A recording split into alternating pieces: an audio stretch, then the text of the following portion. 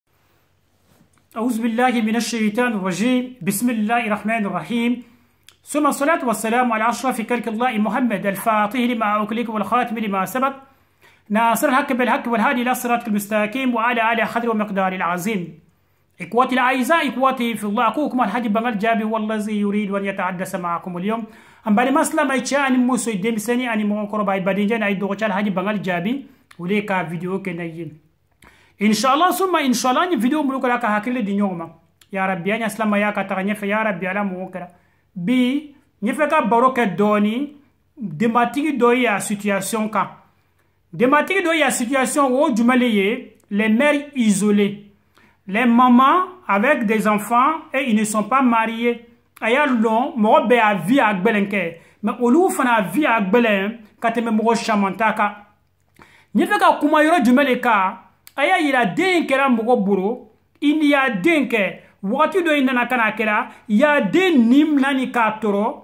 a ye bon kelen kɔnɔ l'enfant commence maintenant à perdre le pédale i le min yɛrɛ bamuso ye i t'a kalama den dɔ ye kɛra dɔrɔmi la ye den dɔ yɛrɛ ye a sanji tan ni saba kɛ i b'a ye ani bamuso tɛ fan kelen fɛ a y'a dɔn an venven na ni jamana min kɔnɔ ya an na ni wori ɲini yɔrɔ le rɔ an bɔ ni an fɛ afiriki ka na k'i ye ameriki le k'i ye erɔpu le bɛɛ na ni fɛn ɲini yɔrɔ le rɔ mɛ fɛn ɲini kɔnɔ sisan ni i na ni kana furuko fana sɔrɔ furuko fana kɔnɔ sisan ni ala na ni kana den d'i ma den wole bɛrɛ na kana k'i le boro porobilɛmu ye i ni ya den ye ɲɔgɔn fɛ a ye bon kɔnɔ den t'i kumakan mɛnna bere i ni ɲɔgɔn fɛ i ni den ye ɲɔgɔn fɛ bon kelen kɔnɔ ya den bara kɛ dɔrɔmi la ye a bara kɛ son ye ile a den de bɔra kaso bon nɔ a do kaso bon gbɛrɛ kɔnɔ i y'a lɔn ala ta lajarabi de le mɔgɔ ɲuman den kɛra mɔgɔ kundan ye mɔgɔ kundan den kɛra fana mɔgɔ ɲɛnama ye yukrijul hayya min almayiti wa yukrijul mayita min alhayyi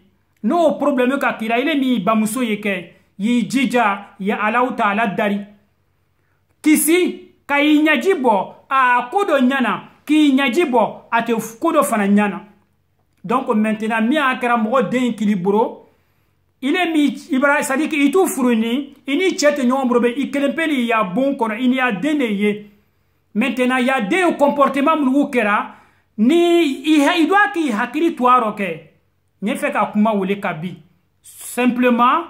prise de conscience fait attention vigilance et puis aussi être prévoyant ne ka kuma olu wele ka bi dɔɔni dɔɔni a joona joona mun le ye i ni i den ka kɛ ɲɔgɔn ka kɛ ni i den wala ekɔli la ye baara kɛ yɔrɔ dɔ kɛ y'i jija ye telefɔni ta wagati dɔ y'a den wele une fois dans la journée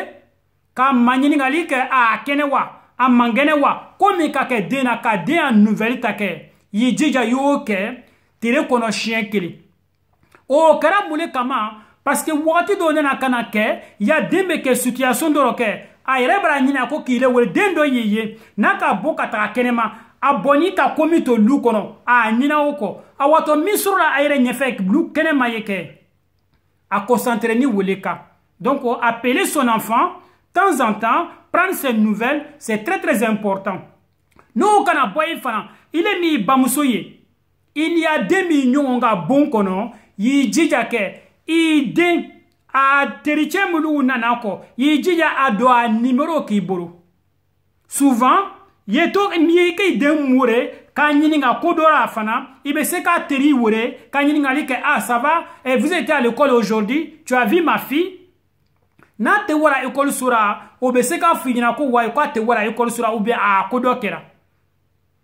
ni m'o kɛ i b'a ye i ye nana kana bɔ a kalama wagati min na i bɛna kana fɔ a terimuso ma mɛ o kosɔn a ma foyi foyi fɔ a ɲɛna c'est parce que toi aussi i de ma a sen na don a y'a koro n'o kana bɔ i fana tuguni i jija kɛ i n'i y'a den a ye to k'a bɔ ɲɔgɔn fɛ wagati dɔ i la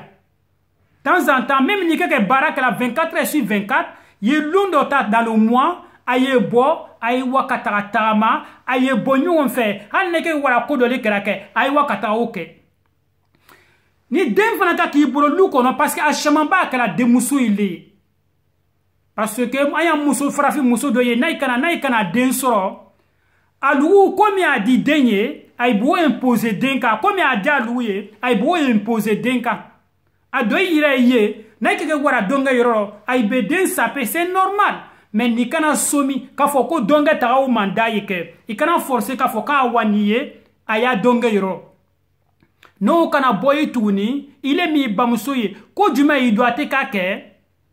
y'i jija y'a den a sira samuru min kɔnɔ kɛ i kana to k'i a baara kɛ a bon fu ye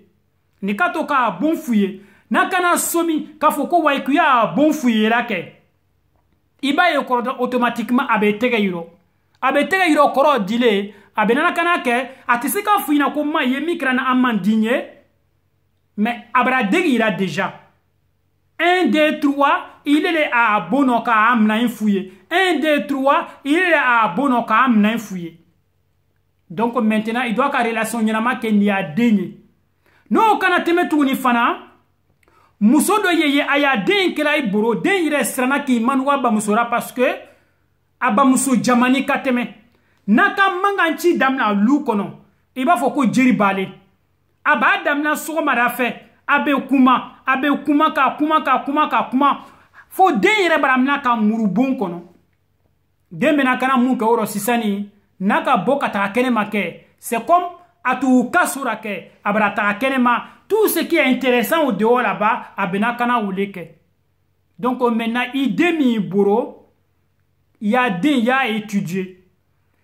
psychologiquement bamuso ni facɛ bɛna bɔ ɲɔgɔn kan min kɛ nin tɛ kɛ a jouera du in dɔ i kan i le min fana bamuso ye ni ne ma kɛ hakilila ni ne k'a bɛɛ kɛ jamajama ye ni ne k'a bɛɛ kɛ kuma camanba ye kɛ automatiquement y'a den mini n'a kana se yɔrɔ dɔrɔn i b'a ye dɔrɔn a bɛ muruti fana ma n'o kana bɔra fana tuguni i le min bamuso i doa ka ko jumɛn de dabila tuguni i jija i n'a fa kɛ t'u ɲɔgɔn bolo min ka ni furu bara sa kɛ ta ben, il nani ah ton papa il vaut rien c'est un il fait absolument rien je, regrette aujourd'hui pourquoi j'ai rencontré ce monsieur-là. C'est lui qui m'a ruiné c'est lui qui m'a mis en retard. C'était vraiment des désordres total. Tu ne rien comme ton père, tu, tu, tu n'as rien dans la tête, tu ne réfléchis même pas. Même zéro est mieux que toi. Tel père, tel fils. Tel père, telle fille. i ne wele dɔnkili lala y'a den ye wagati bɛɛ den barana kana mina i b'a ye kɔrɔ dɔrɔn a barana kana mina ka kɛ wagati bɛɛ i le sadi ke i le min yɛrɛ a ɲakɔrɔ i bara kama komi a danger permanent ni ma nɛni wagati dɔ i b'i ka ka bon kɔnɔ ka gbisi hali n'a k'a fɔ ko den tɛ gbisi la i bɛ to ka gbisi mɔgɔ o mɔgɔ jogo dora jogo dora mɛ gbisili tɛ mɔgɔ jogo dora nɛnini tɛ mɔgɔ jogo dora c'est-à-dire que comportement ɲɛnama c'est-à-dire avoir une bonne relation avec quelqu'un o la y'a kɛra a tigi y'i so la i taama i ma ye n'i fa cɛ jamani ka kɛ i fa cɛ b'i bisi wagati bɛɛ mɛ ni don min na n'i ye i fa cɛ tɛ i b'a ye i bɛ bandiya kɛ n'o kana bɔ i fana tuguni ile min bamuso ye y'i jija i kiri ya baara kɛ wagati bɛɛ ile de kisira den bɛ taa ka tigi ɲininka mama ya kuwa ah non n tɛ se ka kuma ni dɔɔni kasi kɔrɔ i sigi ni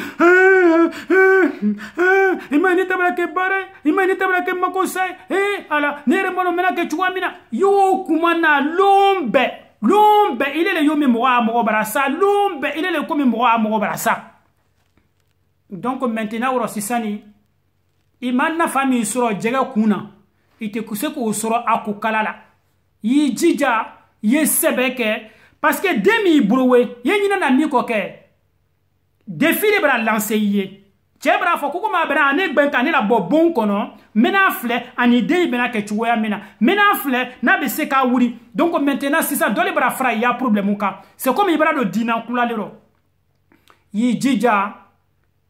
ye fɛ k'u ye wari sɔrɔ parce que an y'a mɔgɔ ye min kɛra an y'a mɔgɔ ye wari ɲini na ka wari ɲini ka wari ɲini n'a taara wari sɔrɔ wagati min na a den bara tiɲɛ ka tiɲɛ ka tiɲɛ a ba tuguni kana se kɔ den dɔ bɛn kan a ka den dɔ bɛn tuguni a ba kana fɔ tuguni ko n y'a baara fana bara tiɲɛ ko dama dama ye kɛ o ko dɔ i bɛ se ka kɛ ɲɔgɔn fɛ mɛ ko dɔ ye ye olu tɛ se ka kɛ ɲɔgɔn fɛ i tɛ se ka bori ka ba tuguni k'a fɔ k'i ye k'i bo bara siɲɛ f'i ye dɔ le kɛ k'a dɔ to ye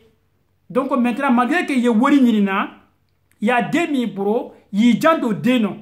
wagati dɔ ye kɛra n'i y'a den hali n'a kana se yɔrɔ dɔrɔn n'i ka bɔ baarakɛyɔrɔ n'i kana don lu kɔnɔ y'a den a fari mini ye tan ta wagati dɔ ye k'a fari la kɔrɔsi den dɔ ye kɛra a bara sirɛse a ko dɔ kɛra a fari la mɛ i de min bamusoma i t'a kalama donc maintenant y'i jija kɛ ye den n'a kɔrɔsi n'o kana bɔ ye yile min y'i bamuso ye y'i jija y'i sɛbɛ don serima n'i k'i sɛbɛ don serima den b'a sɛbɛ don serima n'i ka ala ko kuma ɲɛfɔ den ɲɛna i b'a ye den fitininmatɔ ayi i ji kɛ to possible ya den seri sɔgɔlan karan n'a ka seri sɔgɔlan karan ni silamaya kow kɛra lu kɔnɔ i b'a ye kɔrɔ dɔrɔn a bɛ fisaya ma mɛ muso siamanba le ye denmuso ile boro denmuso ile filɛla komi ale a exemple wagati dɔ ye ni ni yakuba kana sɔgɔma da fɛ semaine brɛ solo na après une autre semaine ya ibrahim qui vient n'o kana bɔ ye tuguni y'a fɔ ko non k'olu si man ɲi ye wa don dɔ i ni tubabu cɛ dɔ de nana i bɛna kana dɔ dugu talan fɛ a ye ne ɲina ko den ta kalama ka taga sɔrɔ ko ko kɛra dingɛ kɔnɔ ɲina a kalama fo n'a k'i ba ma a ye badenkɛ n'a ye dɔgɔcɛ alhaji bangali jaabi o de tun ka video kɛ na ye